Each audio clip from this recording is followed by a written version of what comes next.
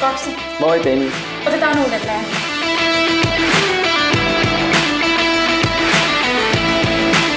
Kaksi. Yksi. Voitin taas. Vielä kerran.